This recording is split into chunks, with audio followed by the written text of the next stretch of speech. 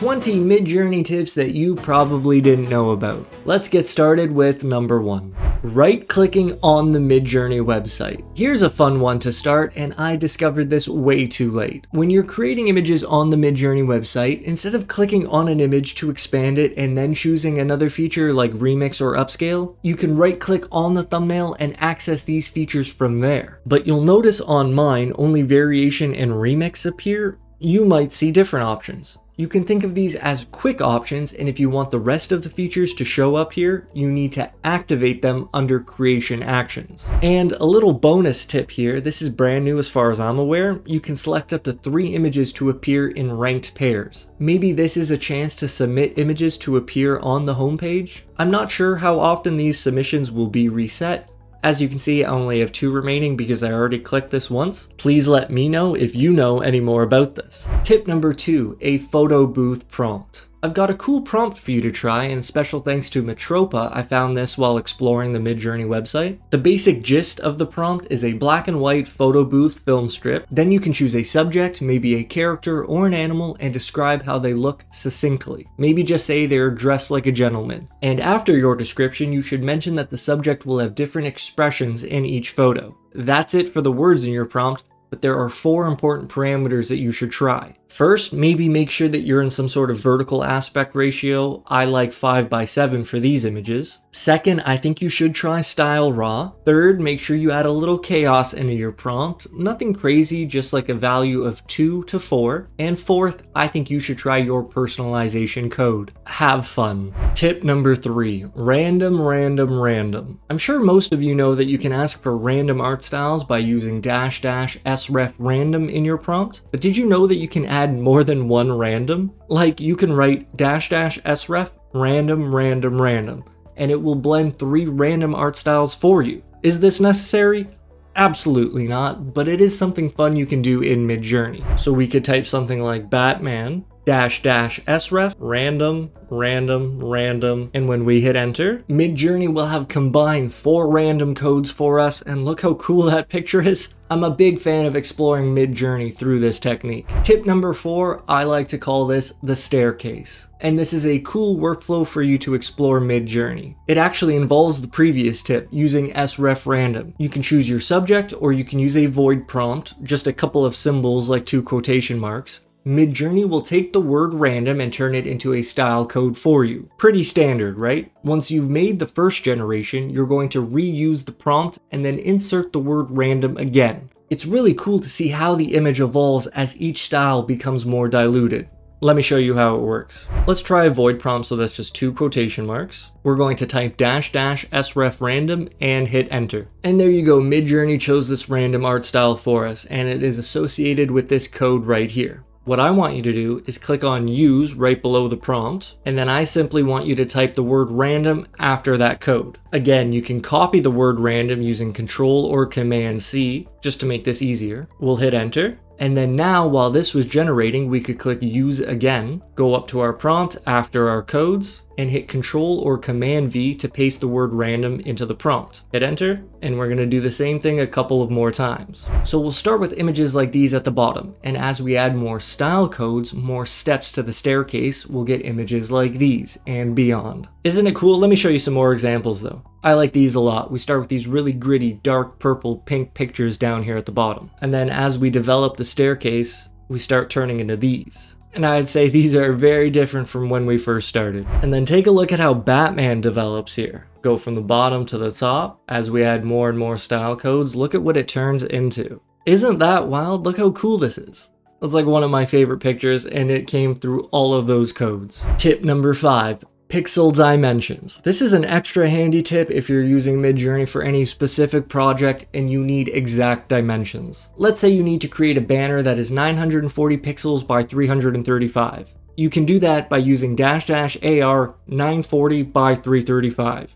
Pretty cool, right? Big thanks to Eurosocial for teaching me that a long time ago, and if you want more tips along those lines, and if you want someone to walk you through everything, you can check out my beginner course in the description below. And when you do this with big numbers, Midjourney will find the lowest value that is associated with that ratio. In this case, 188 by 67 is the same as 940 by 335. Tip number 6 Ask for art. This one is kind of silly, but the impact of the word art on your generation is not insignificant. Check out Art Deco versus Art Deco art. You see the difference? That's pretty stark, pretty crazy, pretty stunning, big contrast between the two, with one change, that being the word art. I guess what I'm saying is that if you're trying to generate a specific style, but it's not coming through in the way you were hoping for, maybe the word art will get you closer to your goal. Tip number seven, main subject choice. Special thanks to Sideways Design for this tip. It's a different way to view how you write prompts and a different way to direct the composition of your scene. The basic lesson is that the first thing you mention in your prompt will be considered the main subject, the emphasis, and depending on what you emphasize, the bot will generate different looking scenes. The example that was shared with me was how a person walking in the city park will compose an image that has a person in the center and fairly close to the camera,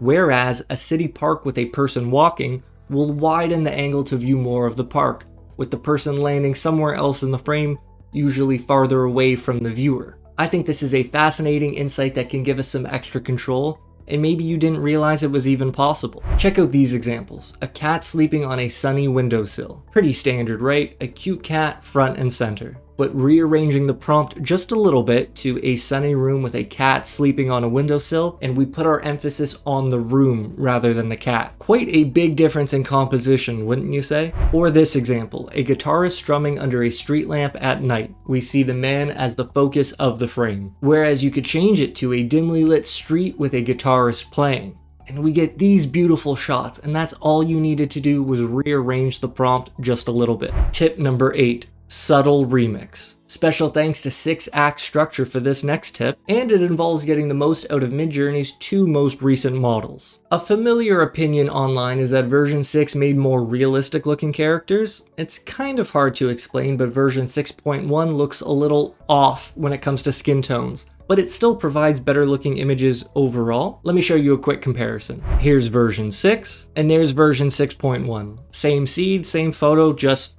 it looks a little different, right? Version 6 to 6.1. Something's a little off. So what you can do is generate your character in version 6 and then use the subtle remix to bring that character into version 6.1. Subtle remix is extremely subtle and we can use that to our advantage with this trick. All you need to do is generate in version 6, click remix subtle on your character, and then we're simply going to add 0.1 after version 6. And when we hit enter, you'll be greeted with generations like this, and maybe you'll be more happy with one of these images. Tip number 9, character sheet. I have a character sheet prompt trick for you, and I know that mentioning multiple expressions or poses is quite common, but did you know that specifically referring to these poses can help create a 360 degree view of your character? Write a prompt like this, a character sheet for your character in different poses and angles, including front view, side view, and back view. You'll also want to use a wider aspect ratio for something like this. 16 by 9 is okay, but I think 3 by 1 might be even better. That's pretty cool, right? Take a look at this other example, I think it worked out even better. Here's a retro roaring 20s wizard, and look how it includes every angle that you could possibly ask for. And I think that happened because we included those references in the prompt directly. Tip number 10, font creation. Here is a really niche tip for when you want to create your own fonts. The basic idea is that we're going to create one letter to start but then we want to create other letters in the same style. And I taught people how to do this by using permutations, like a curly bracket, then A in quotation marks, comma, B in quotation marks, etc, etc. But that's a little painful to write out every time, so I'm thankful for Reiki76 who pointed out a much simpler way of generating these extra letters. You can write them like this, First, put a quotation mark and then place all of your letters inside of the curly brackets. Make sure you close it with quotation marks and that will run all of those letters for you. That's a super niche tip, but it's super helpful to that particular workflow. Tip number 11, spot the difference. Here's another extremely niche tip for you, but this is how you can create the idea of a spot the difference activity page. The basic idea is to create a detailed scene, right? Like a messy room or a knolling photo of a bunch of objects. And then we are going to use the Midjourney editor, or inpainting as it's known as, and simply select a few of these random objects. Midjourney will change around those small instances that you selected and you'll have a before and after spot the difference page. Now, I don't want to hype this up too much because Midjourney isn't that great with small details as you can see here, but there's no reason why this workflow won't be more effective in the future. You could even mix and match different parts of the pictures since you'll get at least four for each generation. All you need is a basic program like Canva or even Microsoft Paint. And maybe you don't even need to sell these professionally if you want to keep some kids busy and develop their attention to detail by creating scenes in their favorite art style.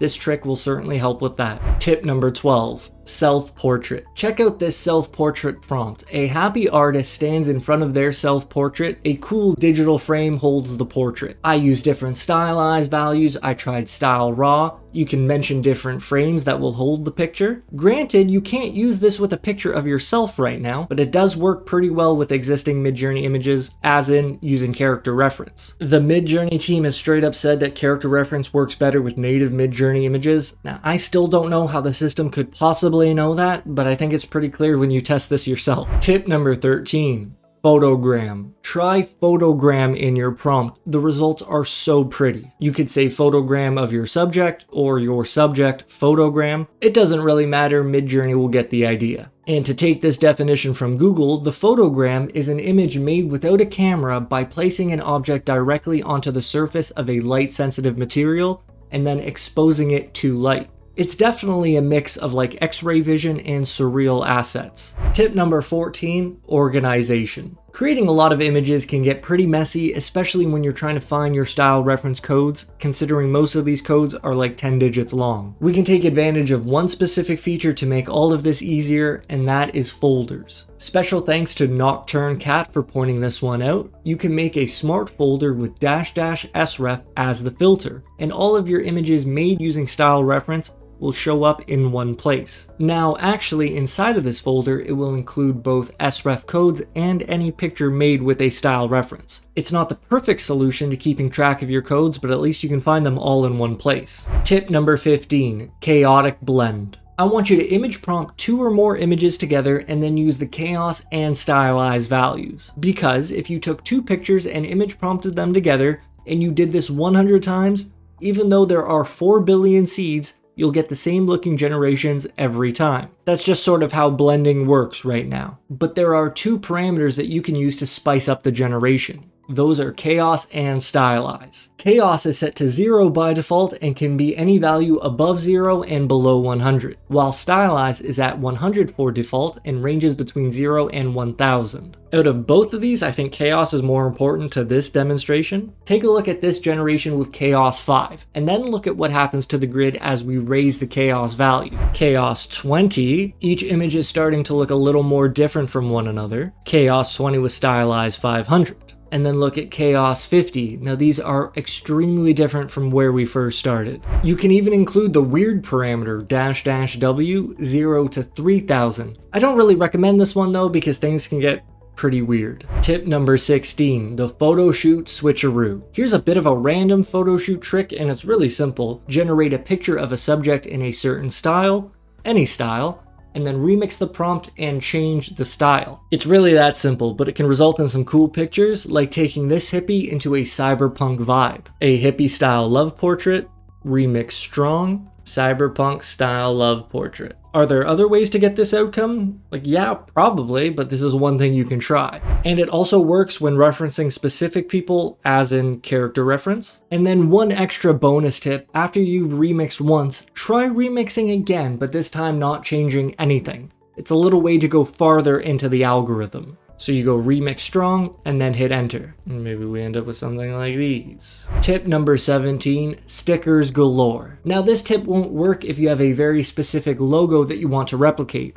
At least not right now. But if you have a general idea for your logo, or your brand includes initials like mine, FTP, here's what you can do to create a lot of cool sticker ideas. We're going to use an extremely basic prompt and then include dash dash sref random as well as the repeat parameter. So something like this. A logo for FTP dash dash sref random and then dash dash repeat followed by a value. I'm going with repeat 5 and all that means is that it's going to run this prompt 5 times. Because we have sref random on, we're going to see 5 different random styles be generated for us. They're not all going to be gold, but we can find some really unique images here that we can use for our stickers. Like out of all these, I think these are so cool. That's amazing. Remember, sref random plus the repeat parameter. Tip number 18, family matters. Midjourney is actually really good at creating believable families of characters when used in one prompt. Now, I guess I suggest keeping it as minimal as possible, like two characters tops, maybe three, because the more you ask for, the more of a challenge it is for the bot.